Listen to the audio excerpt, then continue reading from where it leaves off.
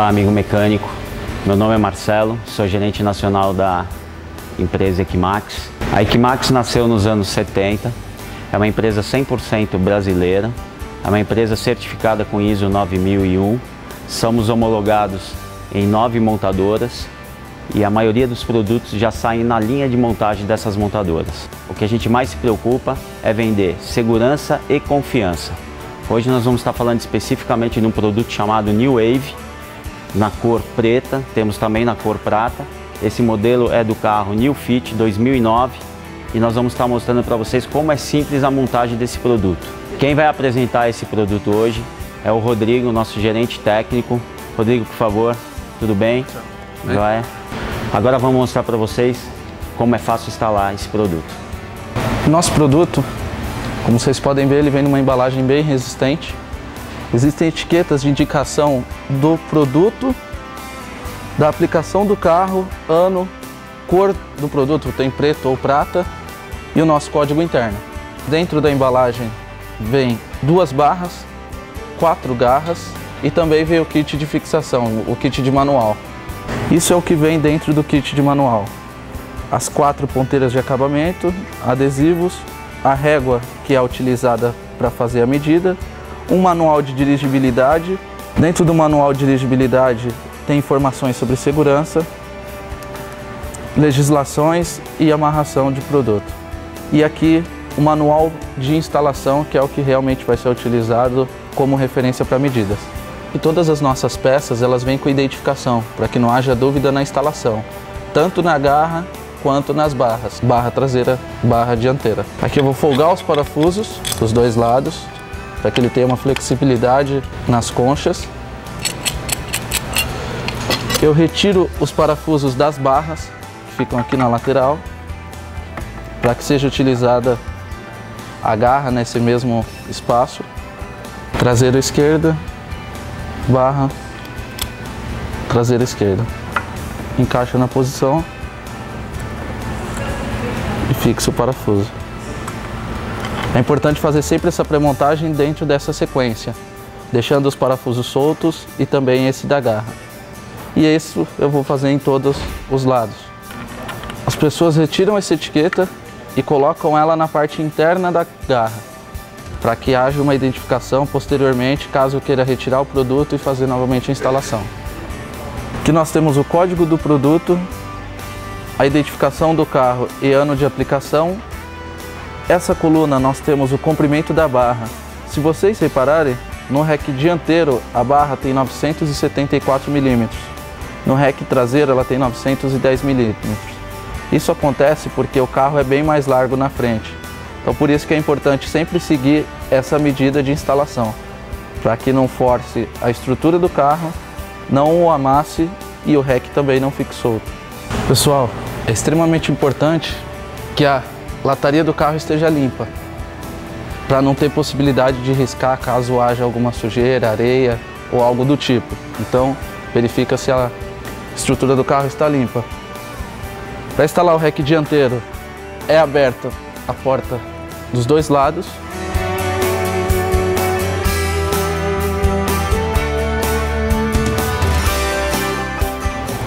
Esse REC ele é apoiado na posição a gente precisa certificar que a porta traseira oposta da instalação está fechada.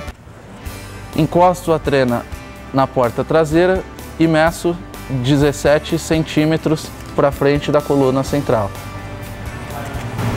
Depois de verificado que o REC está na posição correta dos dois lados, conforme indicação do manual, é apertado primeiro o parafuso superior. O aperto deve ser gradativo dos dois lados. Então apertei um pouco do lado de lá, agora eu vou apertar um pouco do lado de cá, antes de finalmente travar na posição. Depois de finalizado o aperto nos parafusos superiores, que são das garras, nas barras, eu vou novamente verificar a medida do REC para distribuir o aperto nas conchas. Depois de verificada a medida, é só distribuir o aperto nas conchas. Isso também do outro lado. Depois de finalizado o aperto nas conchas, que são esses parafusos inferiores, eu vou colocar a tampa de acabamento. Encaixo a tampa, encaixa lá dentro da sapata que é essa borracha de acabamento, coloco o parafuso e dou o aperto. Existe ainda a borracha de acabamento do parafuso. Eu mantive o adesivo da garra para ilustrar para vocês que está no dianteiro esquerdo. Coloquei a borracha de acabamento, eu vou verificar se o REC está encostado junto à estrutura do carro e se o mesmo está firme conforme a indicação do manual. A sequência para instalar o REC traseiro é a mesma coisa. Verifica a medida e coloca em conformidade na estrutura do carro. Nós trouxemos ainda para apresentar para vocês o nosso suporte de bicicleta. Essa peça ela é em alumínio, essa calha. As cintas que fixam as rodas da bicicleta são em nylon, elas correm na estrutura do suporte, tanto na parte dianteira quanto na traseira. A fixação e as outras peças de fixação vêm toda dentro desse conjunto.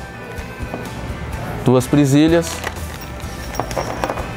quatro parafusos e a chave que é necessária para a instalação. Aqui dentro também tem os manuais que seguem passo a passo como que é feita essa instalação e o de dirigibilidade que fala sobre a legislação do transporte de bicicleta também. Ele é apoiado sobre o REC. O ideal é que seja colocado o mais aberto possível para facilitar o acesso na hora de colocar a bicicleta. São colocados os parafusos e depois as presilhas de fixação.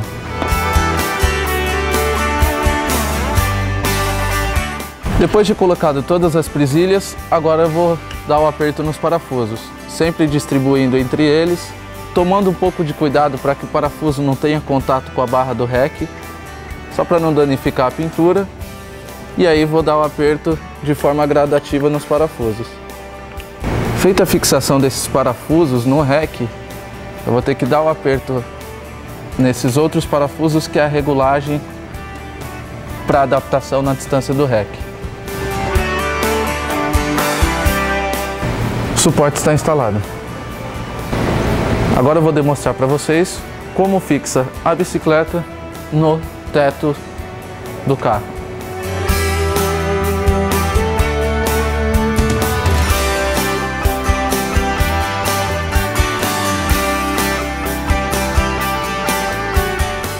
Esse suporte de bicicleta, ele serve para qualquer tamanho de bicicleta. Pronto pessoal, nós trouxemos hoje o processo todo de instalação do REC Max New Wave, do suporte Velox alumínio e da bicicleta sobre o REC.